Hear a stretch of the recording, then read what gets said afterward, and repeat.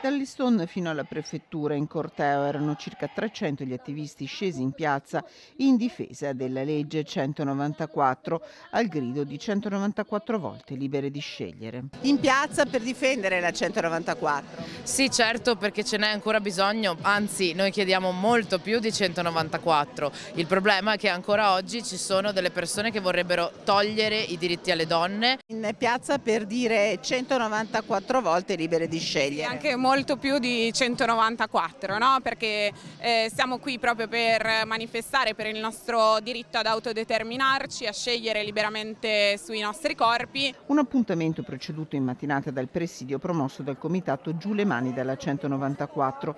Ingente lo schieramento di forze dell'ordine a tutela del diritto dei cittadini di vivere il centro storico il sabato pomeriggio con agenti di polizia, carabinieri, guardia di finanza, polizia locale pronti a intervenire in caso di contatto tra manifestazioni di segno opposto in base alle prescrizioni del questore di Padova che aveva vietato qualsiasi forma di corteo imponendo presidi di tipo statico.